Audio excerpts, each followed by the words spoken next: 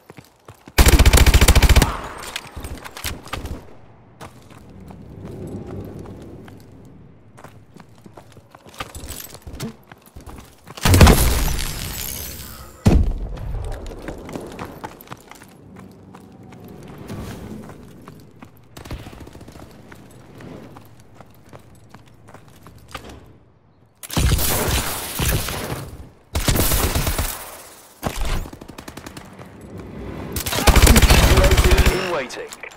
Our UAV is online.